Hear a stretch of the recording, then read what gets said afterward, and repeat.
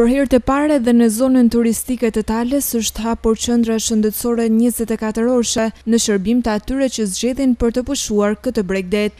Ministrja e Shëndetësisë Ogerta Manastirliu ka inspektuar qendrën e hapur, ndërsa theksoi se rritja e numrit të pushuesve në bregdetin shqiptar